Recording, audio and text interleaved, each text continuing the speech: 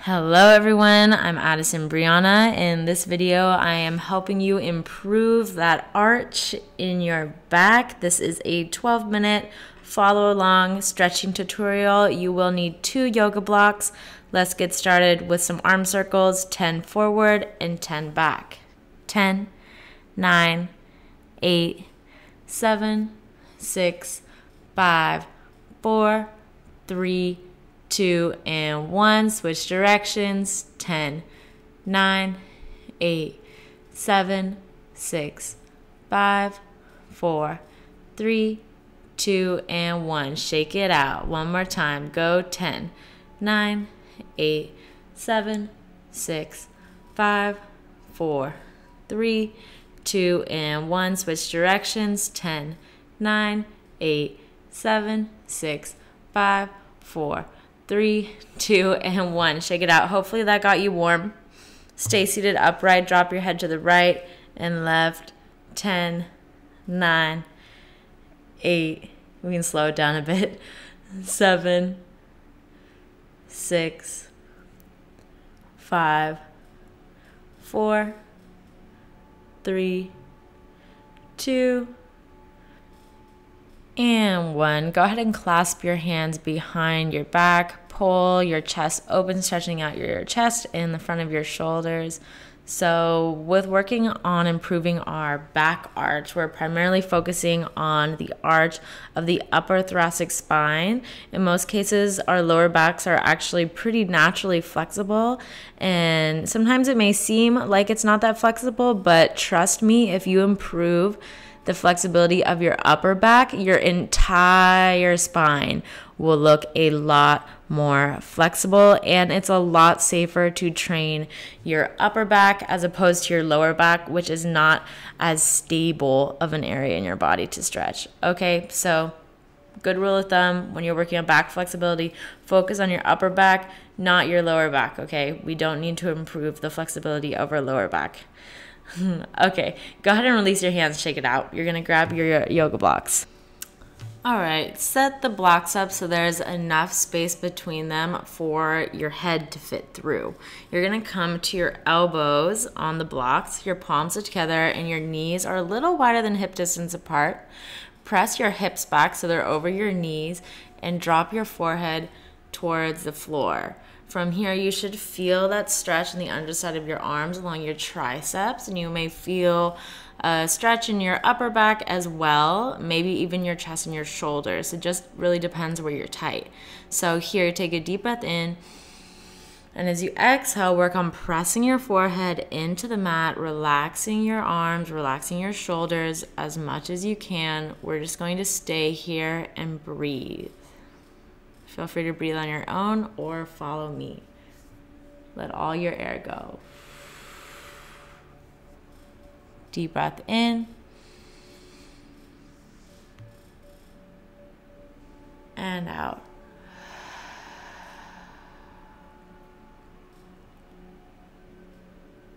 Deep breath in.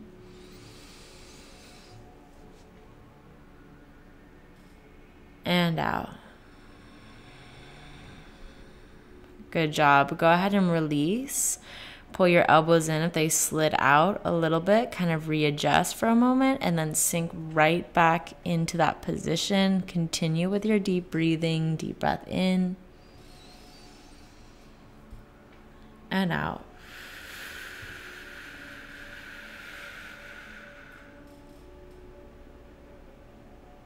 Breathe in.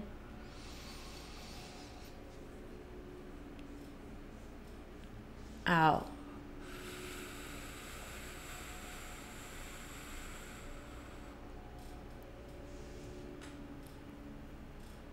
Breathe in and out.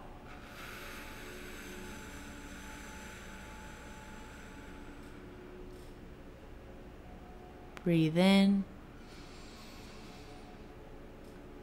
and out with every breath, allowing your body to relax and give in to the stretch a little more. As you feel yourself become more flexible, press more and more into the mat. You can even focus on pressing your chest towards the floor, putting more pressure forward towards your elbows and towards your forehead. Release up to your elbows again. This time, as you lower down, shift your gaze forward. So instead of bringing your forehead to the mat, bring your chin to the mat. Continue to look forward if you like. You can even float your chin and focus on pressing your chest towards the floor. Deep breath in. Out.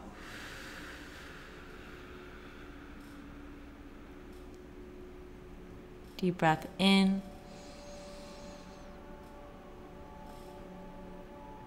Out.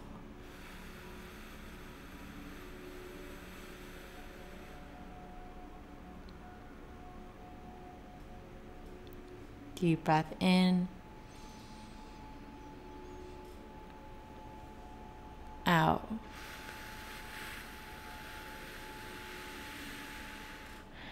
Extend your arms forward, keeping them on the blocks. Wiggle at your fingers. Bring some movement into your fingers here.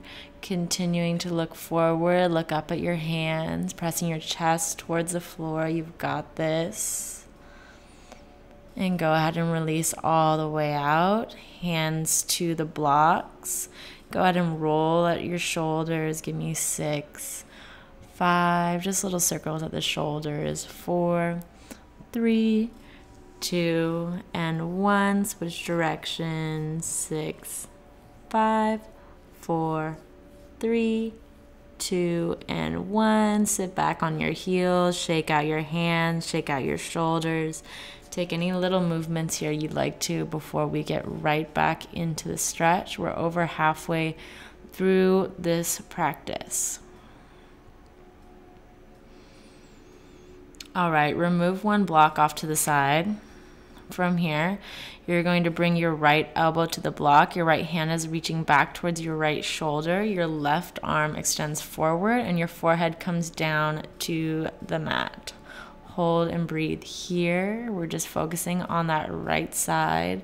This will allow you to focus just on one side, say your right shoulder, your right tricep is a lot tighter than your left, and you can really, really focus in on here and even spend some more time on this side if you'd like.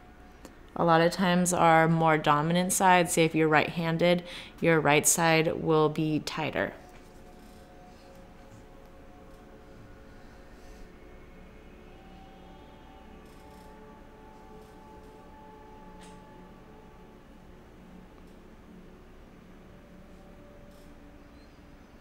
Gently release that side. Go ahead and switch it over to the other side. Left elbow on the block, left hand to your left shoulder. Extend your right arm forward, forehead to the mat. Hold and breathe.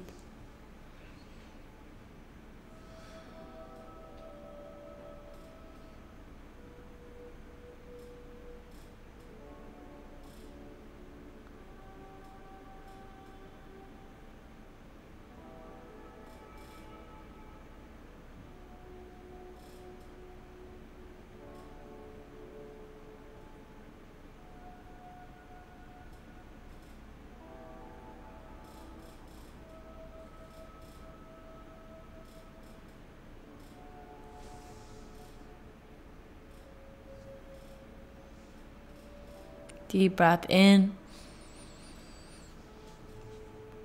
and out.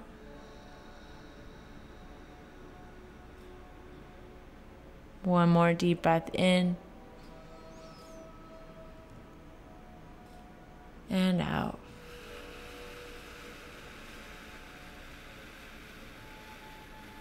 Go ahead and pull yourself up and out of the side. Grab both blocks again.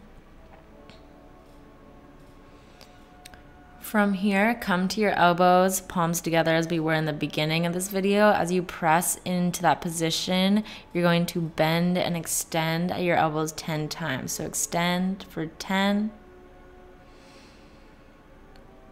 9, 8, 7, six, five, four, three, two, one. Extend both hands forward. Go ahead and come up and out from here. Keep both hands on the blocks. Slide the blocks forward so that your hips stay relatively over your knees. Press your chest into the mat. Hold and breathe. This should be intense. Pressing through your palms. Pressing through the tops of your feet. Deep breath in and out. Really press into a deeper back bend. In and out.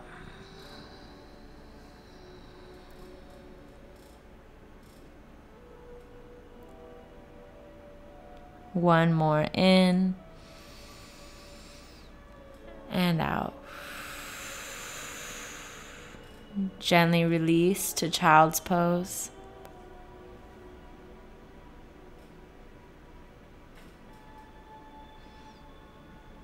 And go ahead and sit yourself up, bring your knees together. I'm going to close off this practice with one hand to our heart, one hand to our belly. Take a deep breath in. Big exhale. Breathe in. Big exhale. One more. Big exhale. Thank you so much for tuning in. If you would like more tips from me on how to improve that arch in your back, leave a comment below, like this video, and subscribe for more. And I will see y'all in the next video. Bye bye.